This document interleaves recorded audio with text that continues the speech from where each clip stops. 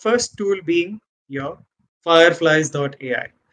Now, uh, I'm sure that most of you guys, you know, who are a part of Wishup organization, you would have noticed that when we have our internal calls, when we have our, you know, discussion calls, uh, you know, before people join, they have their fireflies, they have their otters that join the call. Uh, this is something that all of us have observed, you know, even in our upskilling session calls, wherein they send their otters first and then they join the call. Uh, now, this is not something that they do, uh, you know, manually. These both of these tools they are made in such a way that they join the call at the start of the call. They start recording your conversation and basis that conversation they also make uh, a transcription of your conversation right but the transcription of it unfortunately when it comes to fireflies you will not be able to see the transcription because it's a paid feature yeah? So let me quickly show you what you can do with fireflies.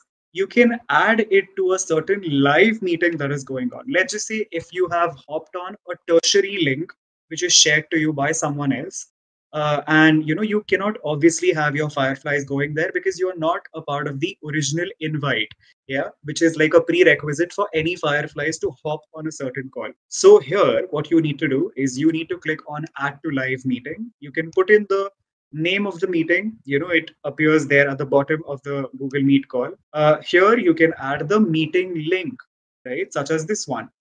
You can add that and then you can click on start capturing what it does is that within a minute, it will join that call. You just need to add that to that call so that it can start recording your conversation. Now, let me show you, you know, an example of how you can find uh, your transcription. So I uh, have got like a trial version here for Fireflies. So to show you as an example, uh, let me just open one of these things. Uh, let's just say it's okay let's just say it's lg session that is conducted by shai. So here you will find that there's just an overview of the entire meeting right? You will find that shai nugu emphasized target targeting decision makers based on department wise hierarchies within companies. Examples like selling a document management system to law firms were discussed. So it's given a summary of the conversation a very beautiful use case right but on the right side, you will find that it also gives you the transcript of the call.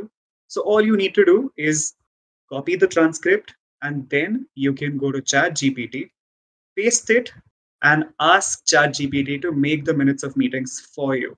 So here, as an example, what I've done, I have just given one prompt, write minutes of meetings depending on the following transcript. And then I've pasted the transcript. I know I'm aware of the fact that there is a word limit to it. So for that, you will need to uh, use multiple platforms, or what you can do is just uh, just stick with the word limit, and you will be pasting, you know, different different sections of the call separately, and then combine them together, and then get your MOM generated in detail. So here, what I've done is I've given the prompt write minutes of meeting depending on the following transcript. I've pasted the transcript, and then what it does is that it gives you detailed meeting minutes. But now you will realize that it doesn't have the date, neither does it have the time, and neither does it have the location. So these are some of the things that you will need to fill in by yourself. They are not going to self fill themselves. You will need to fill these fields.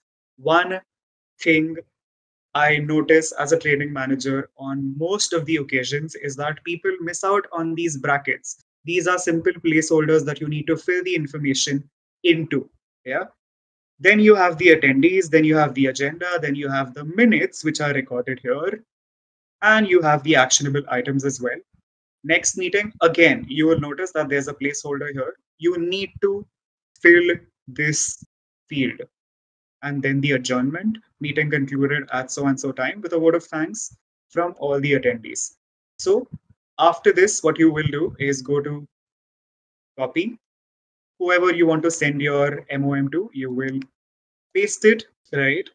And yes, also one more thing, that is the right way of pasting your chat GPT output because one more observation I have made is if you copy paste like that, anyone who is who has an eye for detail, they can figure out the change in formatting, right? So if you get uh, you know your content copied from ChatGPT like that, it's probably one of the worst things that can happen to you if you know someone that you're writing this content to has an attention to detail uh, you know uh, he has an eye for attention to detail right so you will notice that in the beginning it has left some space and you cannot do anything about it and even at the bottom. So the only way out for such situations is to select the whole content and then click on clear formatting or remove formatting. Once you do that you will find that you can now normally treat this content because it is in its normal form. Yeah. Uh, so that was about transcript uh, uh, you know from fireflies.ai